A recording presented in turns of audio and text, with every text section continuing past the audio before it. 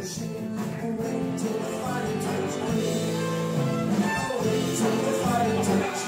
you.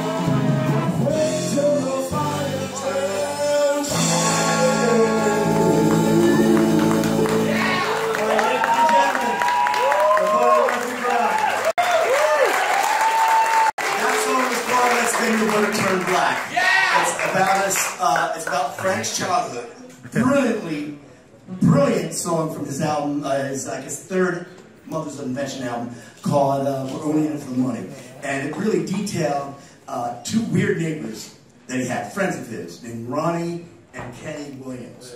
Now, uh, those some people you probably know about that. You've heard enough Frank Zappa uh, history? Like Kevin, you must know. Oh, really? Okay. So, anyway, uh, one thing about that uh, time period, uh, when, I guess it was when, the beginning of Frank's uh, high school years, not only was it Frank Zappa with his friends Kenny and John, and Frank, uh, Kenny and Ronnie Williams, but a, a, fourth person was there, and that's Frank Zappa's brother Bob. Yeah. Now, one of the most beautiful things that's happened to my life since I've been doing this uh, Frank Zappa tribute is that I got since I never met got to meet Frank Zappa, I did get to meet and become very good friends with his uh, younger brother of three years, Bob Zappa. And uh, my wife Susan and I used to go to his apartment at least five times a year and, and, and have dinner with his wife Diane. Uh, but anyway, uh, Bob passed away two weeks ago. And uh, I want to make sure, are you all set with the video? You know what we're doing here? Oh, very excellent. That's Bob Zappa. Now, Bob was, I tell you, some surreal things happened to Norman Bob. Like one time, uh, after Susan and I went over there for uh, like three years, uh, like I said, several times a year. So one time he didn't tell us. He, I guess, had a surprise for us. We went over there, and his guests, he had two guests along with him, uh, was uh, Frank Zappa's daughter Moon, and her friend, the actress Beverly D'Angelo. So we go over there and we have this beautiful, beautiful dinner together. And it's just one of these typical of just a surreal thing that happens when you involve yourself in the world of Frank Zappa.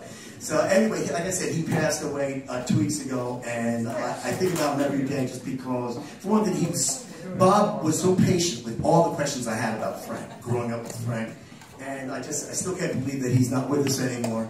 And uh, so what we're going to do now, even though Bob wasn't a very religious person, I just feel that this piece is so, uh, you know, it really fits the soulful majesty of, of uh, the life of Bob Zappa, and no more per perfect person to sing it than Napoleon Murphy Brock. Okay, Ted? One,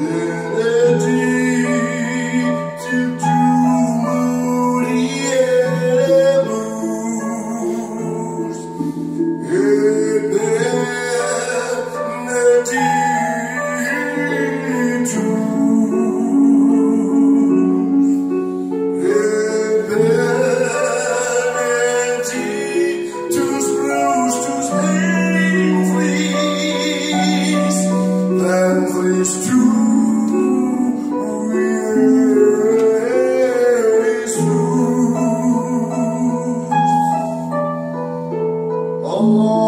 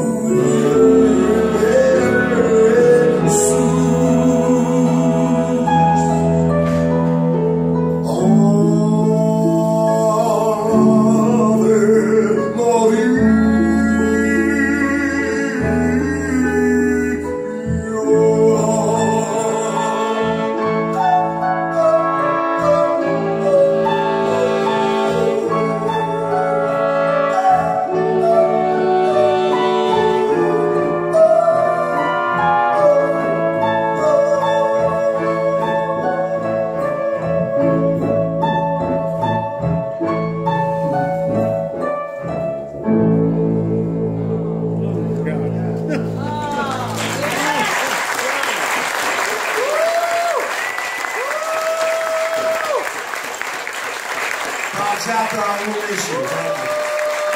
Thank you. Grazie.